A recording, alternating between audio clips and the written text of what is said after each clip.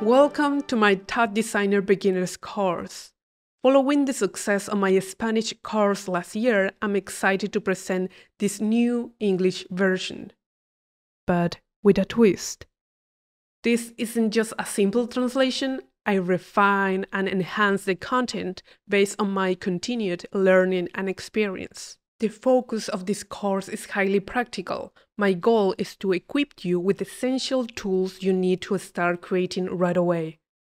Rather than getting lost in theory, we'll concentrate on building a solid foundation of practical skills that you can immediately apply to your own projects. As a special bonus, I've included some exclusive videos at the end of this course focusing on specific techniques and workflows.